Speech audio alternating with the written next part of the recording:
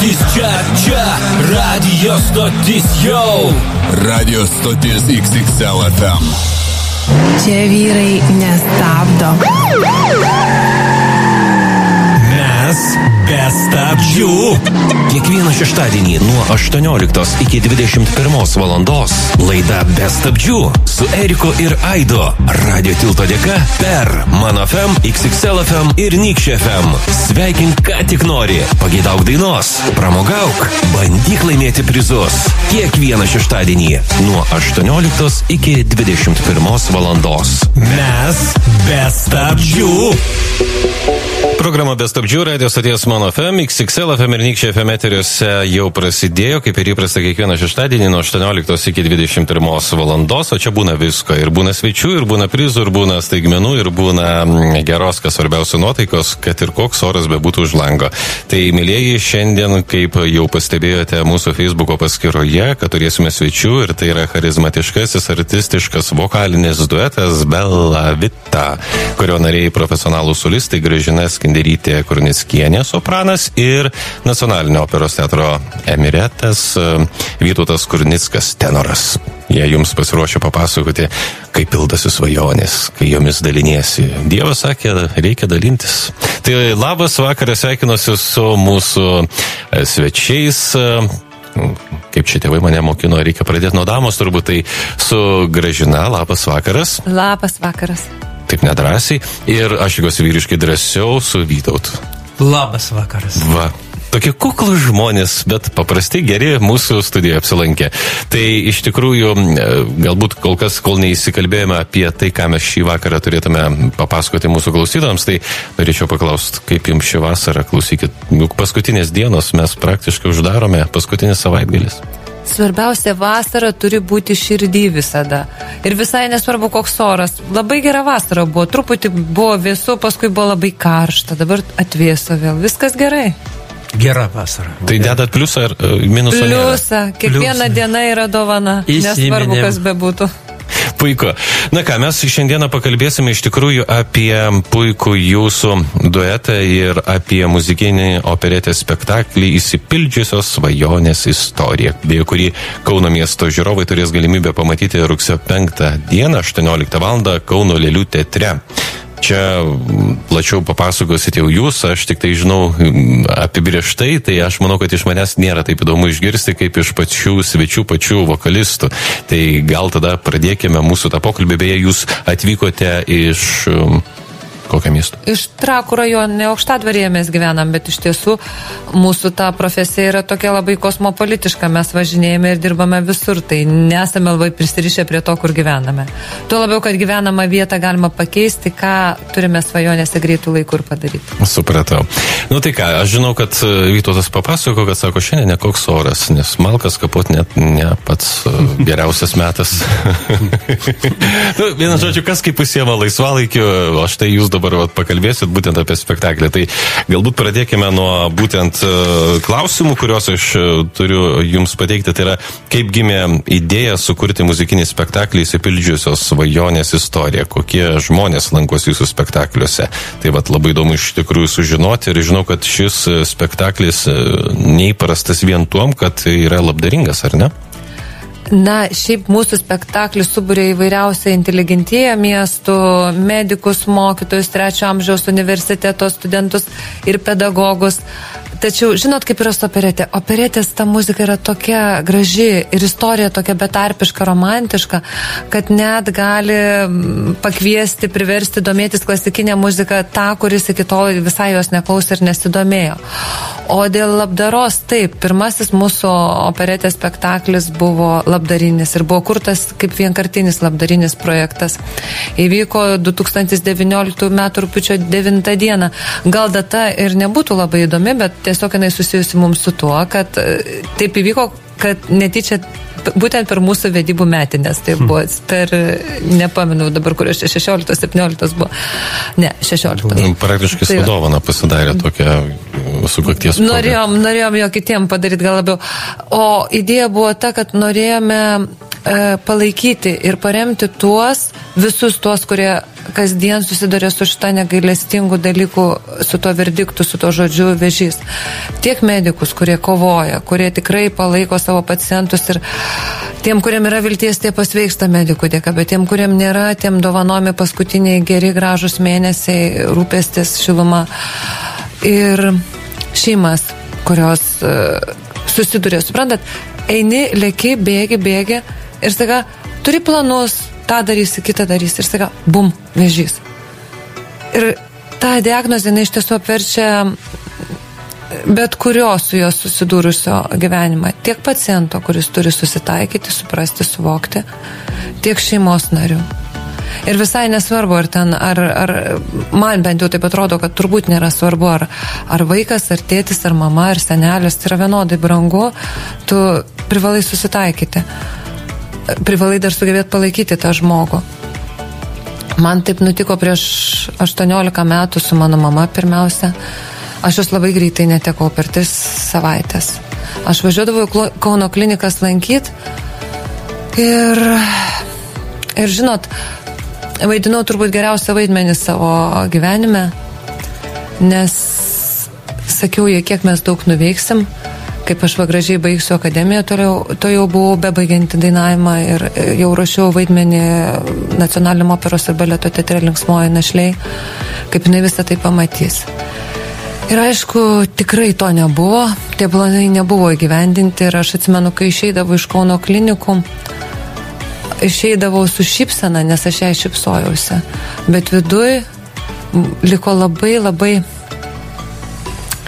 daug, daug tokių neišverktų dalykų, neišverktų ašarų, kurios, kurios liko visiems 18 metų, kiek aš jos dabar va neturiu. Ir, ir iš tiesų net nelabai ir praėjo, nes kaip ašaros gal ir praėjo tas skausmas, bet ilgesys, tuštuma, jinai liko visada. E, Mano mama iš tiesų buvo man tikra sielos draugė, tikra draugė. Tai nebuvo vat vien tik tai mama. Būna tokių šeimų ir, žinau, neretas, neretas atvejs, kai būtent mamos su dukrom labai bendrauja artimai, kalbasi apie viską, viską daro kartu. Man tai buvo nuo vaikystės su mama. Aš neturėjau draugių, savo amžiaus turėjau, bet ne, ne tokias artimas iš tiesų. Bet nuo vaikystės aš viską dariau su mama. Ir vat, nuo jos iškeliavimo aš netekau visapusiškos sielos draugės, kuri mane visada palaikydavo. Po keleto metų ta pati tragikomedija nutiko su mano tėtė. Tragikomedija sakau todėl, kad vėl šipsojausi, vėl sakiau, kad viskas bus gerai. Tik su tėtė aš turėjau septynis mėnesius, o su mama trumpiau, jinai per tris savaitės, kaip sakiau, iškeliavo. Va, ir todėl aš visada labai jautriai reaguodavau ir puikiai suprasdavau, ką išgyvena pacientai, ką išgyvena šeimos, ką išgyvena medikai. Tai labai norėjau tiesiog su tuo spektakliu, kuris pirmiausia buvo kaip vienkartinis numatytas, palaikyti visus. Ir aišku, visas, visas lėšas už bilietus, viskas, kas liko nuo salės nuomos, nuo aparatūros ir visų kitų dalykų, ką žino koncertų organizatoriai, mes paukome Nacionaliniam vėžio institutui.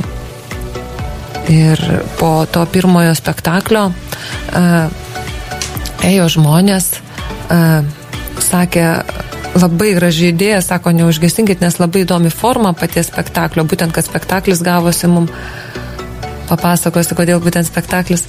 Ir sakė, būtinai turit važiuoti per Lietuvą ir parodyti, nes sako, yra tiek pozityvo, tiek romantikos, kad, kad turi, turi ir daugiau kažkas pamatyti, ne vien tik tai va, tie žmonės, kuriem buvo skirta. Čia, kaip aš suprantu, iš visos tos istorijos, tai pradžioj buvo sugalvoję, kad tai e, tiesiog koncertas turėtų būti po to spektaklio. Taip, turėjo būti koncertas ir jisai pavirto į spektaklį, o buvo taip, kad tiesiog ruoždamiesi e, būtent šitam spekta... E, koncertui pirmiausia, pasirinkau operetę, nes operetė yra pozityvas, Operetė, pozityvas, kuris e, ir tiem sergantiem, ir medikam, nu žinot, yra liūdnas tas gyvenimas ir operetė duoda to tokio pozityvo didelio daug. Visada viskas gerai baigėsi operetė.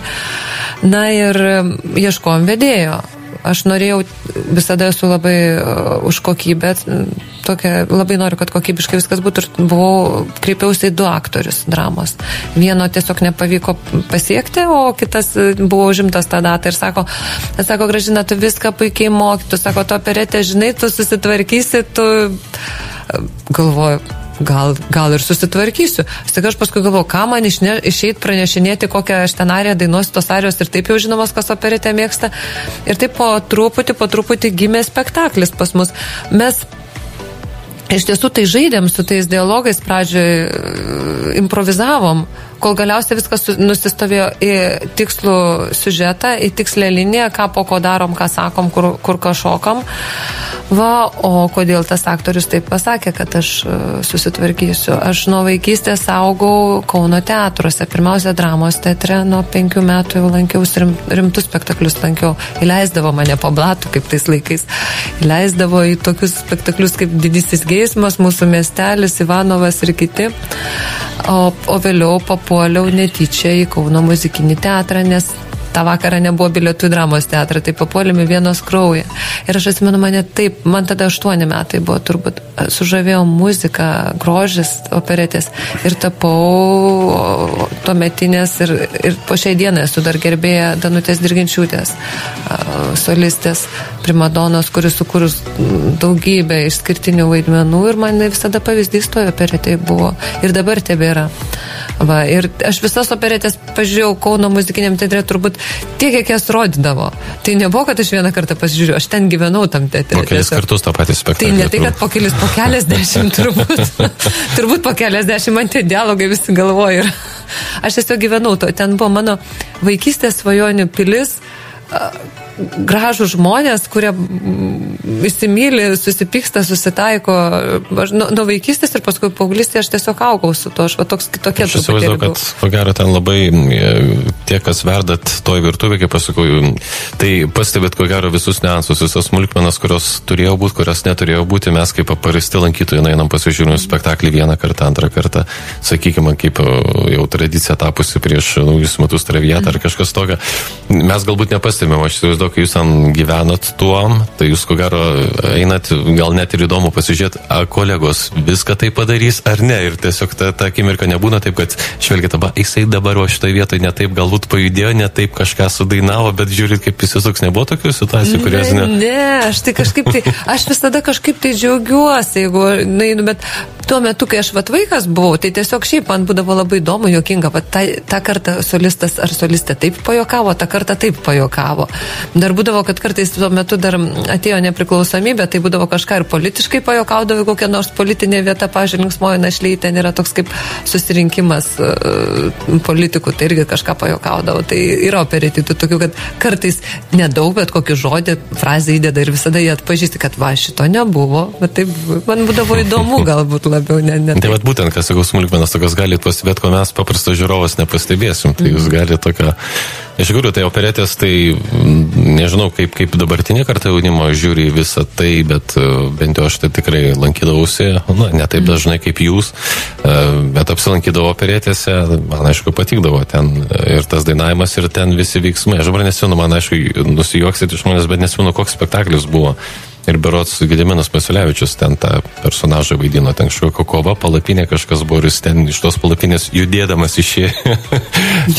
bet aš esu, nu ten kažkaip, bet taip gražiai suvaidino, prasme dainuoja ir po to išeina ten kažkaip, nu toks juokingas buvo, tikrai buvo ką pasižiūrėti, žiūri įsijauti ir galvoju, nu vad žmogus tikrai moka pateikti tą Tai va, personažą. visada ir labai priklauso nuo dainininko ar artisto, kuris ir nuo, nuo to, tas pats personažas gali būti skirtingai sukurtas. Taip, taip. Va, o su pavadinimais pas mus įdomiai buvo. Uh, turėjome tris pavadinimus. A, aš tokia jau būnu pas mus literatė labiau duetė, tai aš buvau parinkus tris. Uh, žiūrovai, kurie ateis į spektaklį, supras, kad jie visi yra tinkami. Vienas vadinasi tiek, kiek už manęs. Išduosiu paslapti, kodėl. Todėl, kad man uh, herojas, herojus, grafas, kuris yra operetės mūsų herojus, e, kelis kartus peršasi per operetę. Tai todėl ir vadinosi tiek, kiek už manęs.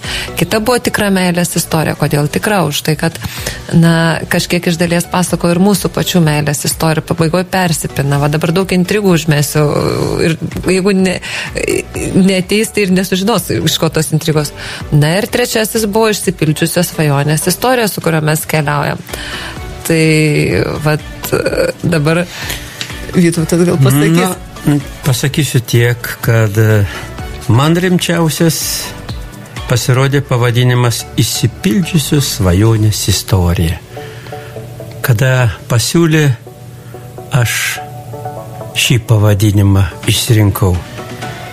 Bet nutarėme traukti burtus. Ir vieną vakarą, žiūrėdami į saulę, kuri gražiai nusileidžia, aš ištraukiau kaip tik išsipildžiusios svajonės istoriją. Na, matyt, ko gero ir aplinka prašė, kad ši, ši svajonė būtų ir ji į ateitį taip pat duotų, kaip sakant, didelį kelią ir būtų daug spektaklių, daug klausytojų, kuriems patiktų operetės muzika. Na, iš tikrųjų, taip, kl- klausau ir man net įdomu pasidarė, va šiaip pačiam, bet e, susibūrėte tą būtent duetą, sakykit, bet kai klausytojai ko gero irgi gali būti įdomu, kokias rolės esat, pavyzdžiui, operetėse dainavę, sakykime, personažais, kokiais esat buvę. Man, pavyzdžiui, šiaip pačiam smalsu net sužinot. Na, sakant, galiu prisiminti, kad e, dainavau e, nacionaliniam operos ir balėtos teatre e, tik dramatinius tenorų vaidmenys. Na, žinoma, jie tokie sunkus ir kartais nelabai norisi prisiminti. Bet atėjo metas, ko gero, iš aukščiausio man pasiūstas, kad e, galėčiau pagaliau padainuoti ir švelnes, meilės skirtas melodijas.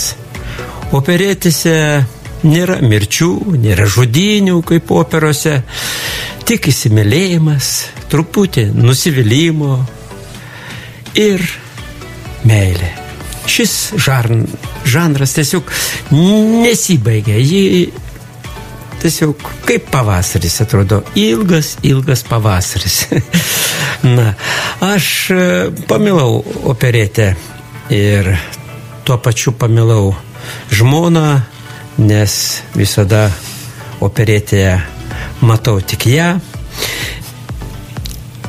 Visada vykstame į įvairius miestus, susipažįstame su Žemaityje, su Aukštaityje ir dar kitur važiuosime. Ir tiesiog jaučiu didelį grožį tų operečių melodijų ir emocinį poveikį. Ne tik žiūrovui, bet ir pačiam. Nu, kiek galima dainuoti Verdi, Pučinį, Wagnerį, Čaikovskį ir kitų rimtų kompozitorių melodijas. Pagaliau turiu džiaugsmą su mylima moterimi dainuoti duetus, švelnius, gražius ir tikrai daugeliai įsimintinus. Čia ir yra muzikos kuriejų paslaptis, kad jie parašo tokią melodiją, kuri tiesiog atsikėlus ar naktį prieš miegą ateina tau į širdį, į ausį ir tu girdi tą melodiją. Na, žodžius gali ir ne, nepasakyti, bet melodija išlieka.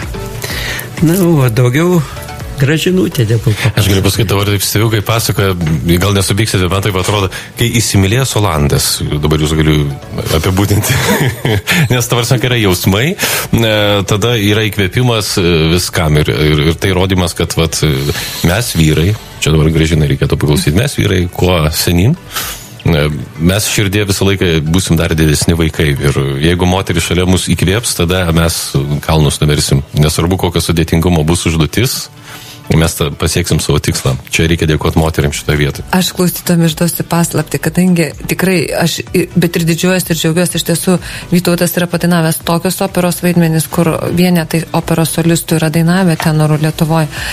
Tačiau, žinot, opera statiškesnis toksai menas, tai jis niekada nemėgdavo šokti. Jis dabar išmoko valsą šokti ir labai gražiai Nu, šoka. kada vyrai mėgo šokt? Taip, už tai, kad, kaip jūs sakėte, įkvėpiu. Ir žinot, vat, kalbant apie tą vat, sėkmę visą, pas mus, aš manau, sėkmę plamai šito spektaklio remia trys dalykai. Pirmiausia, tai mes labai mylim, ką darom. Mes labai mylim, mes ne, nekūrėm, nei, neįtraukėm nei vieno vadinamo gabalo dėl pinigų, kad va tavo klausysis, kad tas linksmas ar, kaž, ar tas romantiškas. Viską labai su meilė darėm, tikrai mylim, bet ne, ne, ne tušiai, bet labai mylim šitą, ką darom.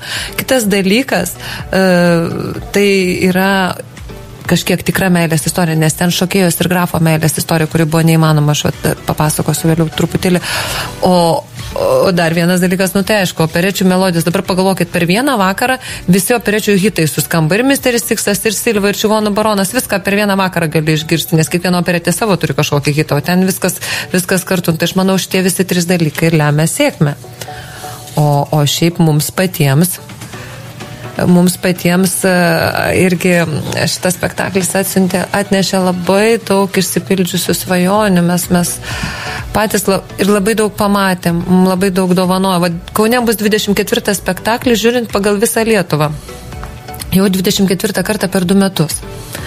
Tai Žinot, kaip yra, atrodo, kad atsitiktinai, atsitiktinai, o iš tiesų tai pagal kažkieno sudėliotą scenarių nutinka taip, kad mes atsidurėm tam tikrose vietose. Aš, aš net neplanuoju, kaip planuoju, pasižiūrėjau, kad yra toksai miestas, reikia va į jį važiuoti, dainuoti, bet net neplanuoju, kodėl aš ten važiuoju. Ir mes per visą mm, dviejų metų kelionę pamatėm daugybę miestų, susipažinom su nuostabiausiais žmonėm, nuolatos plečiame akiratį, pažįstame pasaulį. Mm, pavyzdžiui, aš atradau tokį nuostabų dalyką, kaip Lietuvos bibliotekos. Na, kadangi bibliotekininkai perka pas mus bilietus, tenka pas juos, e, netenka, o labai malonu pas juos važiuoti pristatinėti spektaklį. Jūs neįsivaizduojat, kiek mes ekskursijų bibliotekose pamatėm ir kaip tai yra įdomu. Pavyzdžiui, bibliotekos, dar kai didelis miestas, nors ir dideliam miestė jos organizuoja, bet kada yra mažesnis miestas, jos yra tarsi kultūros žydiniai, ten vyksta geriausi renginiai, parodoti darimai, visokie festivaliai, tai kad aura tam tikrai yra Jo, bibliotekos. ten ateina, ten ateina, ten aplamai ten ateina e, žmonės, jie ateina ir dėl inter, interneto, ten šitas prieigas visas, jie ateina kažko pasiklausti, žinot, ten yra, tai prasme, visko, vyk, viska, visko daug vyksta ir, ir, ir tai daro bibliotekos ir jos daro va taip, tiesiog. Žinot, koncertinė įstaiga ar kultūrinė, tai normalu, kad daro renginius, nu čia, čia normalu, bet bibliotekos viską daro taip idėjiškai ir taip gražiai ir taip nuoširdžiai. Plus kiekviena turi savo paslapti. Jūs neįsivaizduot, aš, pavyzdžiui, Kaune atradau irgi viešojo bibliotekoje tokių gražių dalykų mums parodė, tokių paslapčių, aš net neišduosiu, aš pakviesiu nueiti visus, paprašyti ekskursijos. Uh, Vinso Kutirkos biblioteka, pavyzdžiui, buvęs bankas, ten seifai didžiausi padaryti. Uh, tauragės, tokia jauki, jinai kitokia, mažiekių vėl kitokia. Na ir kuri man iš esmės likimo, daug labai likimo dovanų davė. Pats iškiausias dalykas mano biblio, e, iš visų bibliotekų istorijų, tai plungės biblioteka, o... Galit linkėjimus plungiai perduoti per XXLFM. Oi, plungė, aš labai ilgai galiu, man neužteks turbūt žinokit laiko, bet aš pabandysiu sutilpti laiką, nes mano labai didelė meilė yra plungė. Mes ją atradom kaip nuostabų miestą, kuris tiek išskirtinė savo kultūrą, ten tiek visko vyksta, tokie festivaliai, kaip va dabar Oginskio festivalio, va šiandien atidarimas, gro, grojo Domarko orkestras, ten, ten visada kažkas ir tokio aukšto lygio vyksta.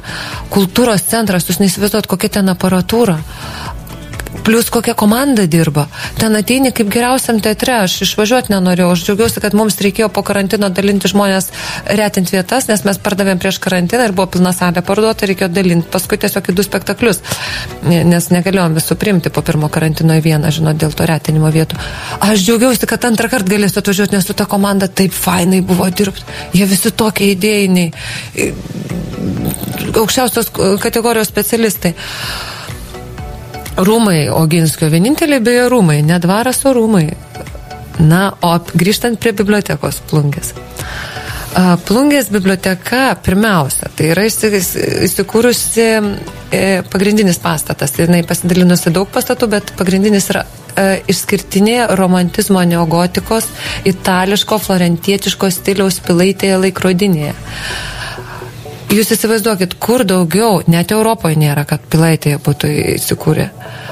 Niekur kitur nerasite tikros Italijos tokios Lietuvoje, kaip e, tik tai plungėje.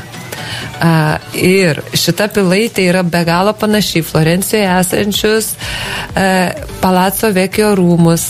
Tai maža yra kopija šitų rūmų. Įsivaizduojate, e, Na, Italija kiek, gražių dalykų Lietuvoje yra pasirodo. Jo, čia reikia tik pavažinėti.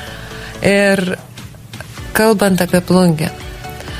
Plungėje užsipildė ta mano, mm, ta mano gyvenimo tuštuma, kuri, kuri, kuri man buvo skausmingiausia 18 metų. Tai apie tai aš manau, kad dar bus galima daug pašnekėti, bet mes padarykime, nesupyksi, nesupyksit jūs, nesupyks klausytai, reklaminę pertraukėlę ir muzikinę ir po to sugrįšim. Okay? Vis labiau tampa nemalonu įlipti į savo automobilį. Blogas kvapas, dėmės, purvas jau nusibodo, automobilio kėbulas tapo nebeblizgus. Atsinaujinkite automobilį prieš keliones ir nuotykius pas mus. Mes pasirūpinsime jūsų automobiliu profesionaliai. Atliekame sausus ir cheminius valymus. Dengiame automobilio kėbulą bei langus nano vašku. Apsilankykite mūsų Facebook puslapyje Automobilių priežiūra Kaunas. Arba važiuokite adresu Islandijos plentas 83. Telefonas informacijai 8684 4160. Geriausiomis kainomis superkame įvairių markių automobilius. Gali būti daužti, nevažiuojantis, be techninės apžiūros ar tiesiog jums atsibodė. Pasiimame patys, sutvarkome visus dokumentus, atsiskaitome iš karto. Dirbame visą parą Kaune ir jo apskrityje. Telefonas informacijai 8633 023 35. Geriau vieną kartą į servisą, nei šimtą kartų į garažą. Patikėk savo automobilį Vaišvydavos autoservisui. Viskas vienoje vietoje. Važiuoklės ir stabdžių patikra bei remontas. Ratų geometrijos patikra ir suvedimas naujausiu Hoffman 3D stendu. Ratų montavimas, balansavimas. Tepalų ir filtrų keitimas. Žibintų reguliavimas ir poliravimas. Smulkus variklio ir aušinimo sistemos remontas. Kondicionierių pildymas ir remontas. Išmetimo sistemos remontas. Automobilio paruošimas techniniai apžiūrai. Diagnostika. Viskas atliekama profesionaliai, patikimai ir saugiai. Vakarietiškas aptarnavimas. Darbus atlieka sertifikuoti meistrai. Suteikiama garantija. Autoservisą rasite adresu Garšvės gatvė 9. Telefonas informacijai 8658 999 77. Are you ready? Radio stotis Mano FM 94 ir 4 Kauno miesto vasaros banga. Mano, mano, mano, mano, mano, mano FM. Mielasis, mm, koks žodis susideda iš septynių raidžių? Guterna. O jei neveikia turbina, Guterna. kas tau yra? Guterna. Kuršių automobilių servisas. Įsikūręs Šilainiuose, Kuršių gatvėje 1B, pasirūpins jūsų automobiliu ar mikroautobusu. Pilnas važiuoklės, sankabos, turbinos, stabdžių sistemos remontas, paskirstimo diržų, tepalų keitimas, kondicionierių pildymas. Montuojame, balansuojame ir priekiaujame padangomis. Taip pat pasiūlysime priekabų, prikabinamų traliukų nuomą. Mūsų rasite Šilainiuose, Kuršių gatvėje 1B. Daugiau informacijos telefonu 8 655 455 51. Kaunietė, ar žinai, kad lyjant lietui pilies plovykloje išorės plovimas ir sausas vidaus valymas tik 10 eurų? Prisimink ir lyjant lietui pasinaudok puikia akcija. Pilies plovyklą rasite Betygalos gatvėje 6 Kaune. Telefonas 8667 97 999. Pilies plovykla. Norite išsirinkti patikimą šilumos siurblį? Turite žinoti vardą Energy Safe. Ilgamžiška švediška įranga Lietuvos rinkoje jau daugiau nei 10 metų. Konsultavimo, montavimo, serviso paslaugos, po garantinė priežiūra, globali garantija. Energy Safe kolektyvas padės išsirinkti oras vanduo šilumos siurblį pagal jūsų poreikius jūsų jaukiems namams. Internete energysafe.lt ir Facebook'e ES Energy Safe šilumos siurbliai. Tikime, dabar jau žinosite. Ir mašinoje, ir namie mes klausomės mano FM. Dvasiškas eterio tėvelis turi jums pasiūlymą. Atsisveikindama su vasara ir pasitikdama rudenį, radio stotis Mano FM skelbia nuolaidos akciją pirmam rudens mėnesiui. Tik iki rūpiučio 31 dienos užsisakykite reklamą mūsų radio eteryje. Už 100 eurų. Į pasiūlymą įeina garso klipo gamyba ir penkios radio transliacijos per dieną. Nuo pirmadienio iki šeštadienio. Visas keturias rugsėjo mėnesio savaitės. Norite daugiau? Oh, yeah. Pridėkite dar 50 euriukų ir gaukite net 12 kartų per dieną. Yra papildomų sąlygų. Skambinkite 8 652 34 336 arba rašykite. Reklama eta mano fm.lt. Akcijos laikas ribotas. Tik iki rūpiučio 31 dienos. Mano FM Kauno miesto radijas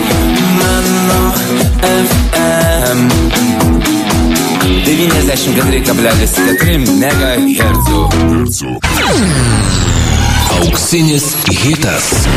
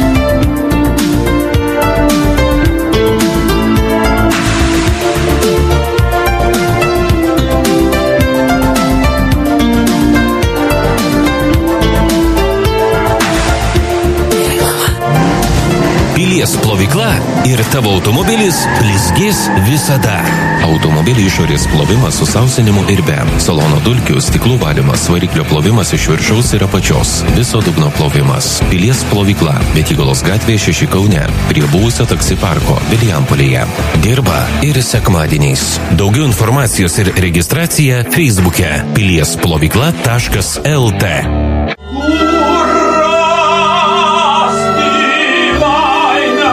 Užburianti operečių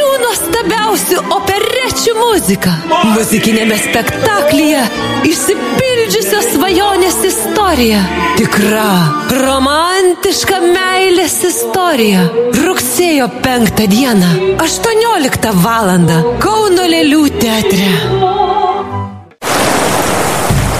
Radio stotis Mano FM 94 ir 4 Kauno miesto vasaros banga. Nykščiai transliuoja. Mano FM. Čia radio stotis, čia, čia radio stotis jau. Radio stoties XXL FM. Čia vyrai nestabdo. Mes be stabdžių. Nu, čia tas mūsų šaukinukas, jeigu dabar klausot, galvojat, e, mūsų svečiai galvoja, kas čia tie vyrai, tai mes žinokit su kolega Eriko pasikeisdami vienas vieną šeštadienį, kitas kitą šeštadienį ir mes, kaip sakė, nestabdom. tai mes viską nors pasikviečiam į svečius, tai va šį kartą su mumis tai yra duetas, charizmatiškas, artistiškas, vokalinis duetas Belavita, kurio nariai e, šiandien pasakoja apie savo gyvenimo patirtis, apie išgyvenimus ir tikslus. Tai profesionalų solistai Gražina Skenderytė Kurnickienė ir Nacionalinio operos teatro emeritas Vytautas Kurnickas. E, taip pat noriu priminti mūsų klausytojams, kad programos metus galite taip pat pateikti klausimą, jeigu turite mm, ar Gražinai, ar Vytautui, tai rašykit mums esame žinutės. E, Šiuo atveju mes jums mm, suteikime galimybę nemokamai paklausti. E, Mūsų numeris 8624 11101. Tai čia galite parašyti esame žinutę ir mes perduosime mūsų svečiams. O dabar grįžtame prie įdomus pokalbio, kuris buvo prieš muzikinę reklaminę pertraukėlę. Tai buvo e, plungėje. Apsistojame ties e, Žemaitijos kraštu. E, Ten dabar būtent XXL FM bangomis girdime, girdi mūsų klausytojai programą ir grįžtame prie bibliotekų ir visų kitų įdomių dalykų, kuriuos dabar gražina su nekantrumu nori papasakoti. Taip, kalbant apie plungę. Plungėje nutiko taip, kad užsipildė ta mano gyvenimo tuštuma, kuri buvo man skausmingiausia visus 18 metų po mano mamos mirties, kuri mane slėgė. Aš jau minėjau pokalbio pradžioje, kad aš turėjau išskirtinę mamą, išskirtinę draugystę su ją. Ji man buvo ne tik pavyzdys, idealas, bet ir pati pati artimiausia sielos draugė. Artimesnės aš neturėjau. Neturėjau visus 18 metų. Tol, kol pravėriau plungės bibliotekos duris. Ir kaip manau, kad būtent čia atsitiko tam tikras stebuklas, esu tikra mano angelo sargo siūstas stebuklas, kad į mano gyvenimą, aišku, ne iškart po kažkiek laiko atėjo sielos draugė. Aš drąsiai turbūt galėčiau šią dieną pasakyti, kad sutikau mamą tik kitame asmenyje. Kažkam gal atrodys labai keista, tačiau aš tikrai žinau, kad tos mamos ir dukros, kurios yra viena kitai pačios artimiausios, draugės, kurios daug dalykų daro kartu, kurios viena kitą palaiko, kurios apie viską gali kalbėtis, kurios besąlygiškai yra visada kartu, jos tikrai mane supras. Supras, ką reiškia 18 metų gyventi be tokios draugystės ir ką reiškia, kai vėl ateina tokia draugystė į gyvenimą. Žinot, viskas taip labai mistiškai susidėliojo. Spektaklis, kuris buvo kurtas kaip vienkartinis, labdarai, prisimenant mano pačios tėvų netektis, mano mamos netekti. Ir šitas spektaklis, jo kelionė per Lietuvą, man padovanoja tokią sielos draugę, kur yra tokia pat artima ir brangi, kokia buvo man mama, mano tikroji pirmoji mama. Aš šito tiesiog tikrai neplanavau, aš atėjau į dalykinį susitikimą kaip ir visur kitur, į tikrai nuostabę žavę biblioteką Pilaitę. Bet žinot, turbūt draugystė yra taip įdomiai, net ir draugystė yra taip kaip meilė. Tiesiog susidėlioja tam tikri dalykai, draugystės chemija. Turbūt, kad yra ir draugystės chemija, aš esu tikra. Kai sutinki tą žmogų, kuri atrodo, kad kažkaip lik pažįsti ir tiek, tiek jis tampa artimas. Šiaip aš išoriškai tai esu labai didelė ekstravertė ir, ir, ir tikrai bendraujant ir mėgstanti kalbėti su žmonėm, bet artimoje draugystėje, vidiniai draugystėje, aš savo buvau išsiugdžiusi intravertiškumą, nes šiaip aš pagal prigimti ekstravertė, bet buvau išsiugdžiusi intravertiškumą, todėl kad aš labai daug kartų esu nusivylus draugystėm At po mamos mirties, kai esu turėjus tai vieną, tai kitą draugę esu nusivylus. Įvairiausių buvo situacijų, kaip žmonės sako, vampyrinių, ne vampyrinių, visokių situacijų buvo. Ir galiausiai aš nusprendžiau, kad man yra lengviau būti be jokios moteriškos draugystės, tuo labiau, kad aš turiu nuostabų vyrą, irgi, kaip sakau, siūsta likimo, kur yra amžina meilė ir, ir mm, na, vis tiek yra ir draugystė didžiulė tarp mūsų. Ir, ir tiesiog nusprendžiau, kad man nereikia tokios draugystės, jokios moteriškos. Man buvo lengviau, aš norėjau išlikti stipri, nebažeidžiama ir gyvenimo aplinkiniam parodžiau, kad man gerai ir taip yra gyventi. E, Kai aš peržengiau bibliotekos duris, įvyko ta chemija draugystės, įvyko labai gra- gražus pokalbis. E, tik kurį laiką dar aš valingai neleidau tai draugystėje būti, nenorėjau dar kartą ir nusivilti, o gal tiesiog buvo taip gražiai ta draugystė dėliojasi iš pradžių, kad gal nenorėjau kažko pažeisti, sugadinti, peržengti kažkokiu ribu. Bet galiausiai leidau Angelo Sargo vedama, aš skaitau, kad yra, aš esu tikinti ir skaitau, kad yra Angelo Sargo valia tokia ir leidausi vedama į šitą brangę sielų draugystę. Na, kaip sakant, kai žmonės kažkur tai vis tiek tas pats uh, Mhm. tikslas, ta pati aplinka, vis tiek didesnė trauka savotiškai, tu net nevalyvai pajunti, Būna, kad... va tai pasirodo, tai būna ir draugystė, tai nebūtinai taip yra tik tai va vyro ir moters mhm. Meilėje, bet tokia va gali būti draugystė va, ir, ir būtent tarp, tarp dviejų moterų, nors aš būtent turiu draugystę omeny. Ir žinot, labai keistai taip pat susidėlioja, būna, kad juk e, kada nieko tokio neįtikėtino, kai paimamas vaikas iš vaikų namų ir kita moteris tiesiog užaugina ir vaikas va taip ir vadina mama, tai yra visiškai normalu. Taip nutinka vaikystėje. Kadangi... saka, ne tas, kas, kas Jo, atvedė jo, jo, jo. tas, kas užaugino. Jo, jo, Mhm. ir man tai, o man taip labai keistai nutiko vėlesnėme amžiuje, nes, žinot, jaunystėje ir vaikystėje aš turėjau puikią mamą ir nuostabę sielos draugą ir daug kartų tai kartoju, bet man tai tiesiog yra, tikrai buvo, buvo labai brangu ir yra brangu, po šiai dienai prisimenu kiekvieną su ją praleistą akimirką, bet pasiglemžė vėžys. Ir žinot, kaip po 18 metų tuštumos ir vėl sutinki tokį žmogų, mamą kitame asmenyje tik tai. Tai aš manau, kad man šito begalinio nuoširdumo, išskirtinės charizmos moters draugystė padovanojo būtent išsipildžiusios svajonės istorijos kelionė per Lietuvą. O viskas taip netikėtai prasidėjo ir tiesiog nuo, nuo vienkartinio spektaklio, kuris tikrai turėjo būti tik vieną kartą, nuo nekalto dalykinio susitikimo bibliotekoje, kažkur plungėje, kur aš plungės iš viso nebuvau žinojęs tokio, žinojau tokį miestą, bet tiesiog nebuvau buvus ir nežinojau, kad jis toks nuostabus yra. Nes jis ir ne tik tai kalbant apie tą draugystę, bet vat, kaip prieš pertraukėlę kalbėjom ir pats miestas, iš tiesų aš plungės, kaip bebūtų keista, labai bijojau. Galvau, oi, žemaičiai, grini, gali būti šalti, ar užsispyrę, Užsispyrę. nenorėt jo įsileisti. O jie tiek nuoširdus. Mes tą dieną, beje, šį susitikimą bibliotekoje Pilaitėje labai stipriai pavėlavau. Jis buvo paskutinis tą dieną darbinė ir aš stipriai pavėlavau. Kodėl? Todėl, kad tie žmonės plungiški, jie tiek vaišino, jie tiek kalbino, suprantat, kaip su senais draugais.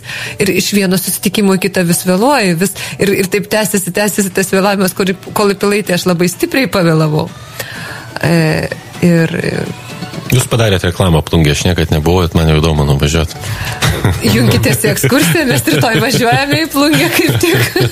Aš organizuoju ekskursiją savo bendruomenį, nes aš esu tikra, kad e, turi žmonės pamatyti šitą miestą. Iš tiesų, kas nuvažiuoja, sako, tikrai, tikrai išskirtinis miestas. O dėl grįžtant per draugystės, tai tiesiog Nemanau, kad tai keista, manau, kad tai yra labai gražu, labai gera dovanoti Angelo Sargo ir manau, kad gyvenimas yra pakankamai trumpas, kad gilintis į tai, kas kam ir kaip atrodytų ar neatrodytų. Aš nenoriu gyvenimo džiaugsmo atidėti, nenoriu nei vienos dienos atidėti, kur yra graži, nes jau man gyvenimas parodė, kad jis labai laikinas gali būti. Aš tiesiog leidžiu turėti teisę džiaugtis šitą draugystę, e, dvasinę meilę ir jai būti džiaugtis vat, šiandien ir dėkoti už viską. Dievoje angelui sargu ir mano mylimam miestui plungiai. Žinau, kaip čia aš dabar tiesiog galvoju, vat kartais žmonės mane įkvepia kartais filosofuoti, tai vat, labai retai tai būna, dabar jūs kaip e, pradėjote taip kalbėti, net pasigilinus, tai e, pradedu galvoti, kad rytojus yra jau dabar kaip mes gyvenam dabar, mes susikursim rytoj. Teisingai sako, aš irgi taip dažnai pagalvoju. Aš irgi taip dažnai pagalvoju. Tokios mintis. E, gerai, gal tada paklausiu dabar apie, jeigu nieko prieš apie tą meilę, man čia saldu, tai visi dalykai. Mielai papasakosiu. Saldi porelė sėdė prieš mane ir kažkaip dabar ne, nepaklaus būtų nuodėmė. Tai pristatydami, muzikinį spektaklį sakote, kad meilė, kuri laužo taisyklės, yra tiek stipri, jog sugriauna visas sienas, kad įsipildytų. Ar tai judviems pažįstama?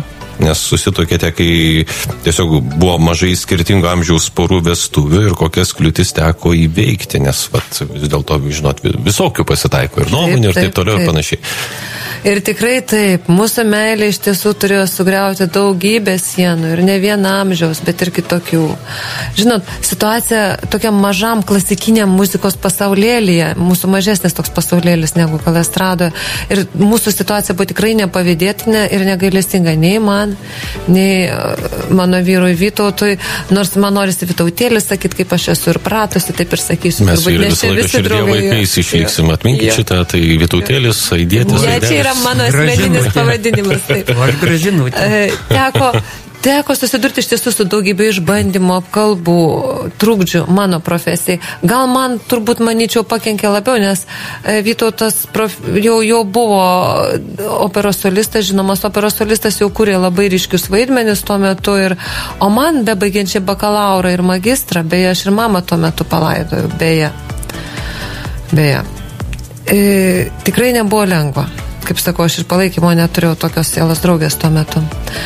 Ir kiek man buvo įmanoma prarasti savo profesinės galimybės, tiek turbūt aš tuo metu jas ir praradau. Aš savo diplominį mm, traviatą dainavau po mamos laidotuvių. Iš tiesų tikrai tai nebuvo lengva. Ir tai nereikia sakyti, kad uh, toj profesijoje turi žmogus išėjęs, at palaidojęs, paguldęs karste artimą žmogų, išeit va taip ir dainuot. Aš tiesiog norėčiau kiekvienam, kuris pasako, kad taip reikia, pabandyti.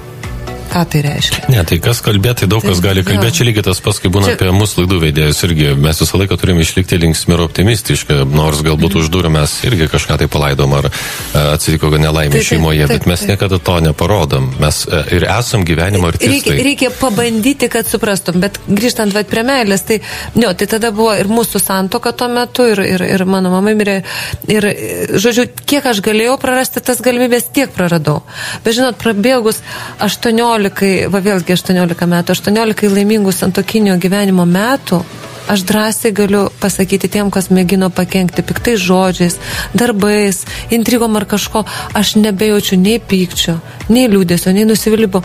Aš kartais galvoju, kad esu apdovanota, ne todėl, kad esu labai gera, bet tiesiog aš laiko neturiu. Aš tokia tam tikra amnezija blogiem dalykam esu apdovanota. Aš tingiu juos prisiminti, man nėra kada laiko prisiminti. Ir žinot, liko neblogi dalykai, o liko tas jausmas, nes mes metus draugavom iki vedybų. Liko tas jausmas, kaip prieš 19 metų mane pirmą kartą jis paėmė už rankos.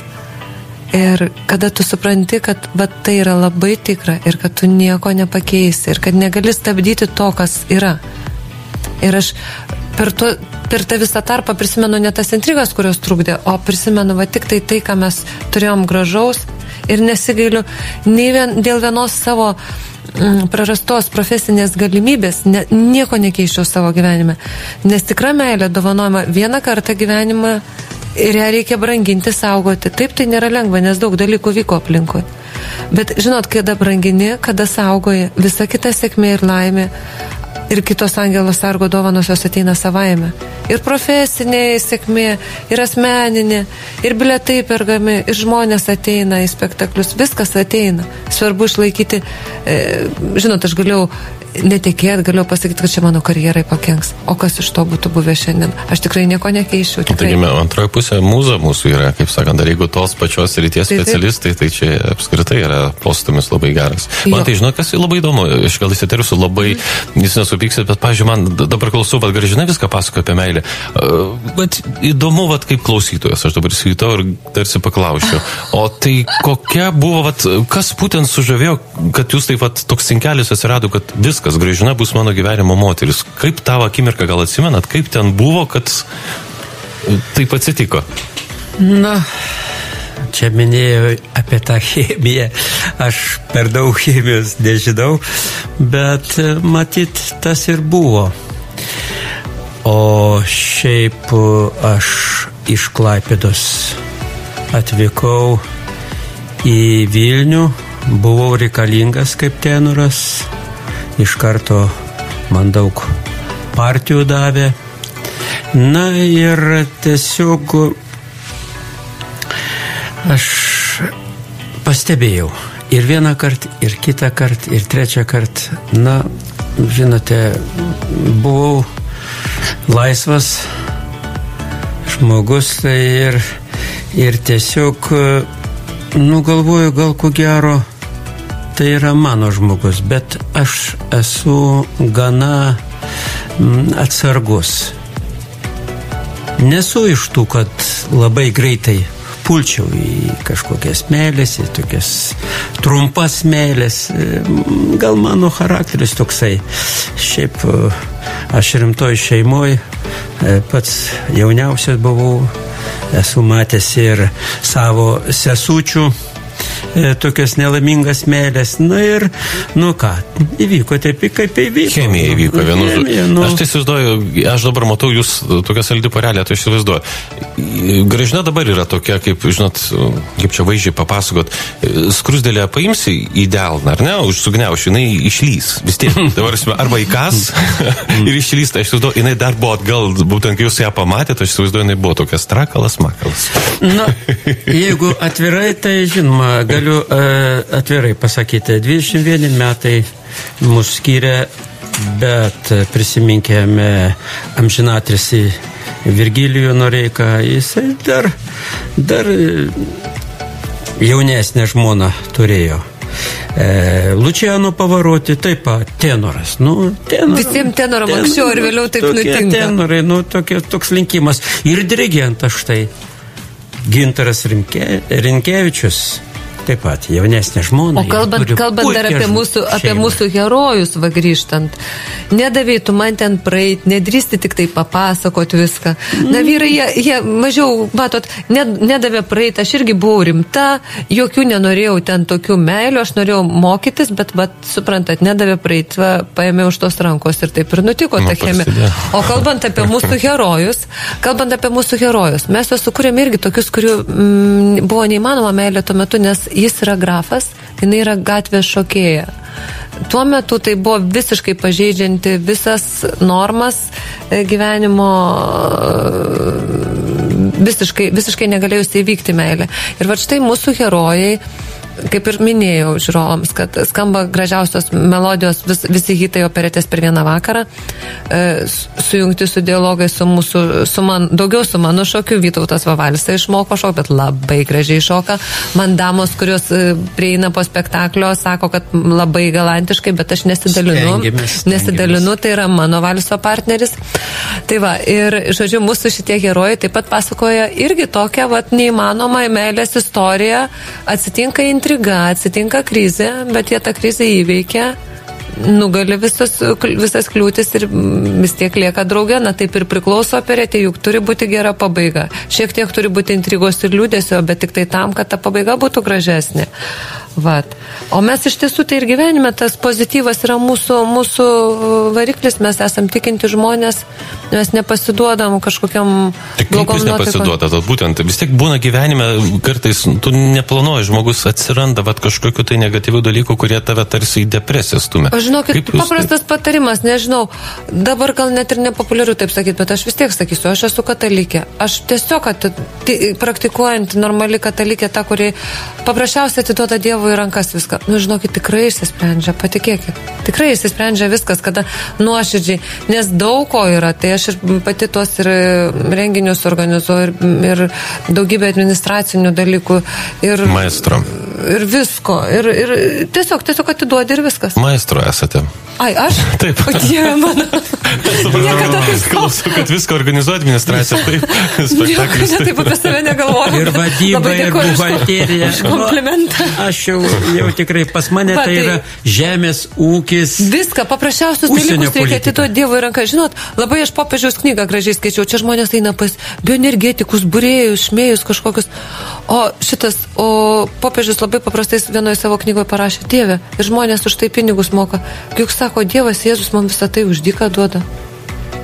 Sako, kodėl, kodėl jie tai daro. Tai va čia irgi mūsų yra pozityvo, nes tikrai nėra lengva, esam du menininkai. E, Atrodo, turėtume kaip išgyventi iš tų spektaklių, bet va žmonės ateina, jiems taip patinka ir, ir gera. Nuoširdumu pavergėt. Nuoširdumas. Nu ką, tai tada dar aš noriu jūsų paklausti trumpai, galbūt informacijos, kur galima įsigyti bilietus. Juk Kaune vyks e, rugsėjo 5 dieną jūsų spektaklis, kuris kažkada turėjo būti koncertinio pobūdžio muzikinis, ar ne? Taip, tai jisai vyks dar kartelį, pakartoju, rugsėjo 5 dieną, Kauno Lėlių teatre, salėje labai gražioje. 18 valandą. 18 valandą, teisingai. Biletais Mhm. prekiauja biletai LT ir teatro kasa. Taip. Jau Lėlių galima- teatro, jau jau dabar galima galima. Lėlių teatre įsigyti, taip. Puiku, mėlis. Na, aš būtinai nor- norėčiau apsilankyti ir apsilankysiu. Aš manau, kad tikrai susimatysim. Būtinai jūsų Tylėsiu pažadu. Dėsiu, žiūrėsiu. Nes aš ne, ne, negaliu taip nusėdėti ramiai. Aš man- manau, kad jūs šipsositės daug, tada daug juoksitės, nes yra tokių vietų ir tikiu, gal ašarą kažkur nubrauksit irgi, nes yra labai tokių Vyrai vietų. neverkia. kur- Verkia, verkia, kai moteris nemato. Verkia, verkia. Nes stiprus žmonės iš kurių verkia ir aš to nesigėdžiu. Galiu drąsiai tai pasakyti visiems girdint man Va čia vienodai. irgi pritarčiau, kad stip, tik stiprus vyrai verkia. Va. Taip, tai lengviau pasidaro iš tikrųjų. Tada jausmus išlieji to ir, ir po to atsigauni. Ir sakai, opa. Kaip gerai. Mm. tai va tas ir yra. Iš tikrųjų, geriau tų tokių emocinių ir džiaugsmo ašarų, negu kad vieną susidarai savyje viską kaupi ir po to. Ir jau vas spinduliuot kaip mūsų saldžioji porelė, Vytautas ir Viršinė. Dieve, kaip fainai, po 18 metų santokos būtų saldžia porelė. Mes turbūt dar ir po, po kiek čia dar, a, po 50, neskaičiuosiu, po 50 kokiu taip pat bus.